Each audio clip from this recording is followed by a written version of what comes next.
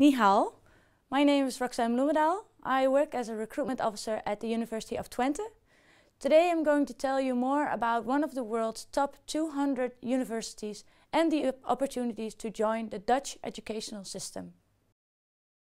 In this presentation you will have an overview of how the Dutch educational system works, a bit of cultural aspects and other reasons to see the Netherlands as a study destination.